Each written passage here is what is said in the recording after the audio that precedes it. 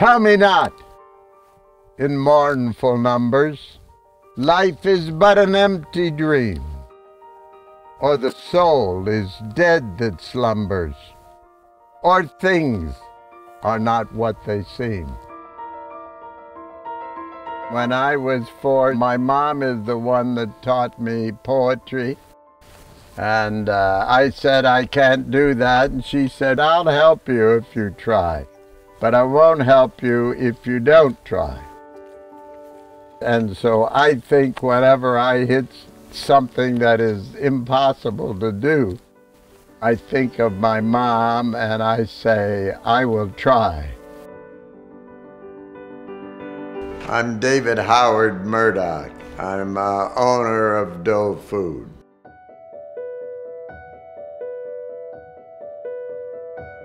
I always had a competitive spirit. I left school when I was 14 years old and went to work. I spent two and a half years in the Army and uh, moved to Arizona where I started building houses. I became quite successful. By the time I was 25 years old, uh, I was a multimillionaire. When I was in graduate school, Mr. Murdock bought Cannon Mills, and I went to work for him as first a personal assistant.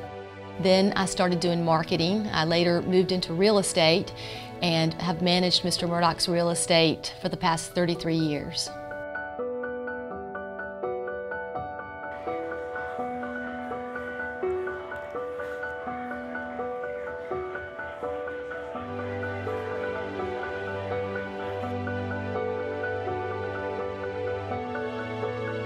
Cannon Mills at one time was the largest producer of household textiles in the world.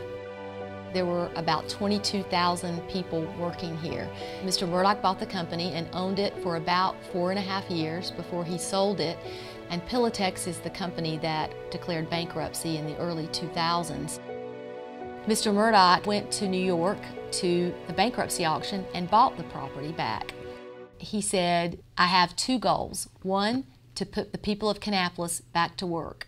And my second goal is to find some way to teach people about nutrition. Seven years ago now, he decided to knock the old mill down and create a wonderful new research facility. So this was his private money that created the campus and Dole Foods simply has a lab placed on the campus. And then he tried to get all the top universities in North Carolina and some of the top companies to come here and work together to create science around health and nutrition. So we have agricultural universities like NC State, and we also have universities that are interested in human health, such as UNC Chapel Hill.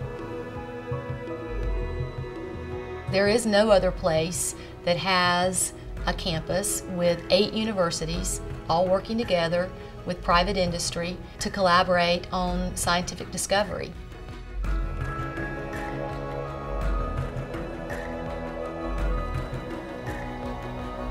There are approximately uh, 300 scientists that work on the campus as a whole and then Dole itself has a total uh, scientific team of four people including myself.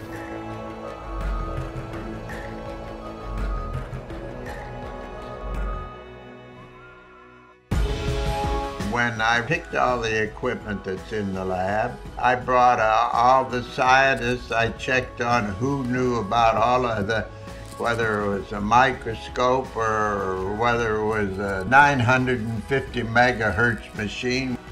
We actually have the biggest currently available in the world nuclear magnetic resonance instrument. There are only two of them in the world and we have one here. It enables you to discover chemical structure. And so then as a trained scientist, we can look at this chemical structure and find out why it might be important in health or maybe how we could improve it and make it better. I think uh, what we are teaching here is the most important, and, and we have a lot to do with what people eat. You cannot be healthy and eat wrong.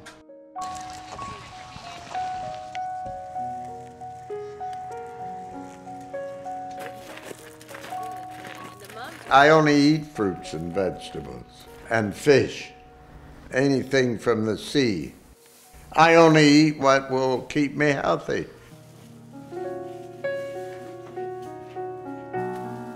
I eat the skins of bananas, the skins of oranges, the skins of pineapple, because there is about five times more nutrients in the skin.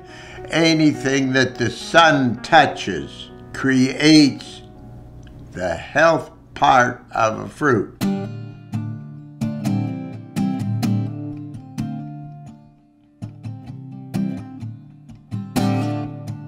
I had always known this area for many, many years, and I decided this was where I would build it because I liked the people here and I liked the climate and surroundings. That is a place that I think he feels very comfortable. He has many happy memories of taking his sons out on the boat fishing, um, walking the trails at his home, Pity Sake Lodge. Almost every visit, he will say, is my boat in the water, even in the winter.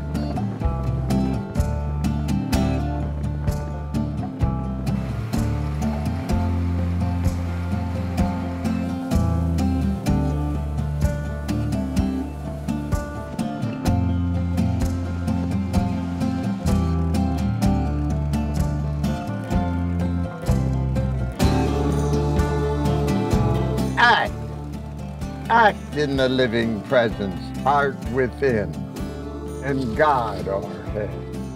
Lives of great men all remind us we can make our lives sublime, and departing, leave behind us footprints on the sands of time.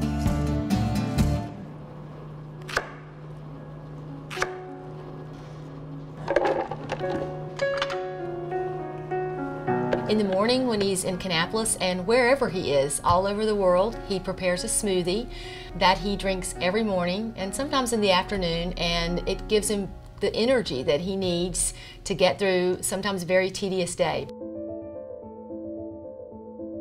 Longevity is a very, very important aspect of, of what we study here on the campus. Aging is not a disease, it's a normal process that everybody undergoes. If you're going to live a long time, you need to have good DNA. But what happens as we age is your DNA gets damaged and it gets older. Uh, that causes problems in health later on. Fruits and vegetables are now showing us that they can stop this damage so your DNA remains intact.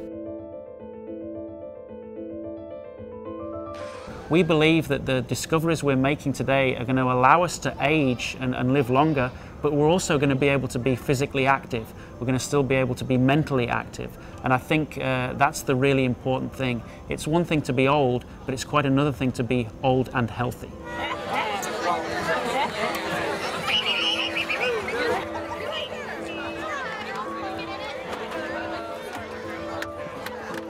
There's an event happening today on the research campus. It's a, uh, I think about 500 people are turning up and they're going to walk uh, and bring awareness to Alzheimer's in the local area. We actually have researchers here on campus who are looking into how berries may be able to help the slow progression of brain decline as we age. And it's great for us scientists actually to see this because you know we work in our labs and we're often isolated against this kind of thing, but to see people who are uh, showing signs of Alzheimer's and the support that they get really encourages you when you're in the lab to, to do more interesting work and, and get work to discovery quicker.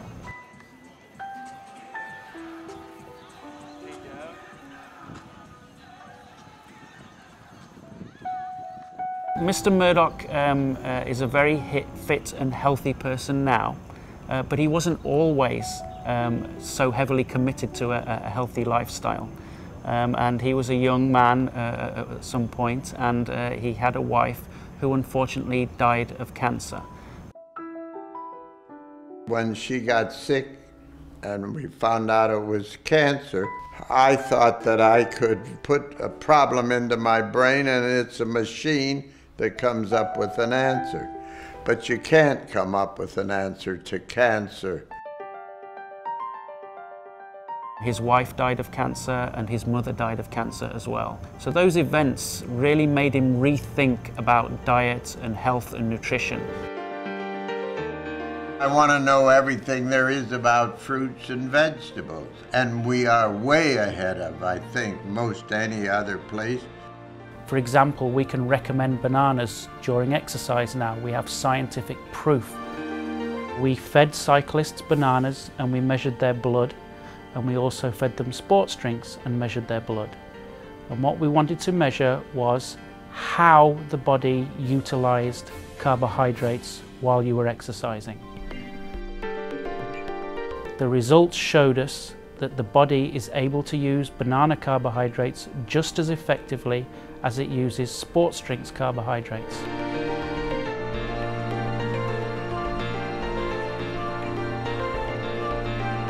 Nutrition is important, but equally as important is physical exercise.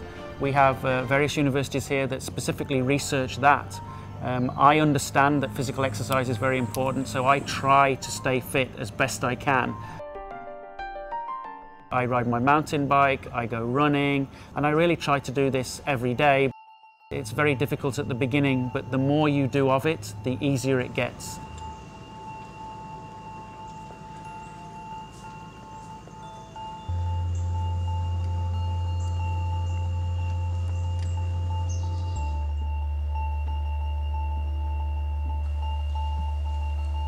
When I'm home, I go do all kind of exercise. Uh, other people, I gotta have great muscles. I never had great muscles.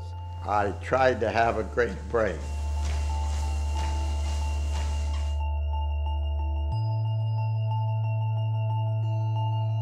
One of his favourite things he likes to do when he's here is to actually sit down with the researchers and get them to discuss with him what they're doing, what results they've got, and then he will take that back to Nick and say, now how could we study this at Dole? Knowledge is power. I'm always seeking knowledge from other people. And even today, at my age, I still am studying new things. My job as a scientist uh, working for Dole Food Company is to create um, information that is useful to the consumer. And the way we do this is to publish our findings. We show the consumer what we're working on and how it can impact their lives. Um, and I think we get a bit of credibility from doing that. Right there may look a little odd to you, but that's because fire plant lines and hot cold water here in Kannapolis, we are really just at the beginning, the birth of the North Carolina Research Campus. Mr. Murdock has plans for many other buildings on this site that he's developed, and I'm looking forward to see what Mr. Murdock dreams of next, and I hope that I can be a part of that. It matters not how strait the gate, how charged with punishment the scroll. I am the master of my fate. I am the captain of my soul.